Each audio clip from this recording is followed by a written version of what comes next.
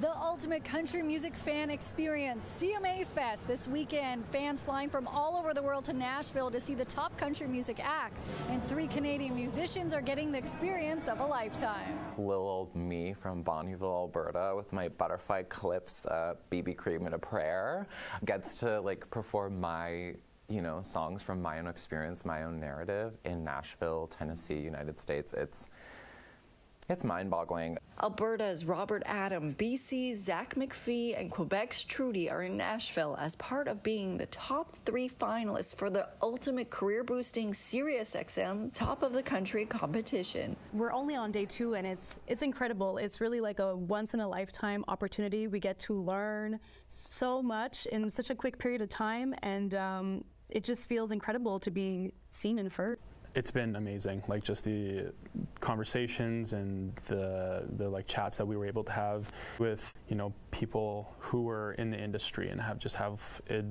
advice to give artists is something that you'll just take anywhere you go now. We just get to be in rooms with all these people that make really powerful decisions, and we get our chance to make our mark on these people. No matter what happens after, like we really get a chance to shake hands with these people and that is worth its weight in gold.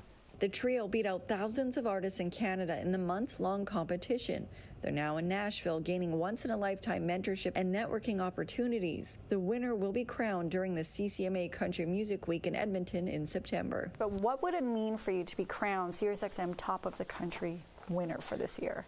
Having that title is a reassuring thing as well that, you know, you've made the, cor- the correct, you know, career moves and kind of you're going in the right direction. But also being in the top three, having these exposures is is uh, huge. I'm looking to win this for a whole community of people that have been pushed to the kind of outside of the country industry and rural um, textures.